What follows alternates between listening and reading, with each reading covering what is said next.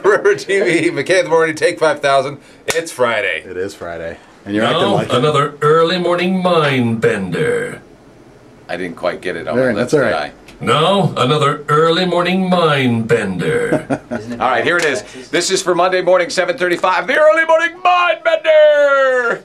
Here it is. Uh, 17% of men have turned off a woman on a first date by doing what? Farting. It's got to be farting. Come on, Is that what you usually do? all the time. Nate, got an answer? Talking woman about won't stick with past relationships. That's not bad. I say maybe smoking. Well, the clue is juvenile, audible, and a bodily function.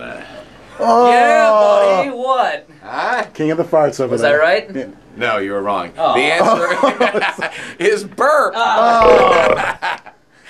You know, and then they blow it in the face so they can smell it. That's- That's I- just I- I wrong. that one. burp is the answer for our early morning mind bender for Monday morning. Know it at 7:35 and win one of our biggest prizes. You get to win Nate.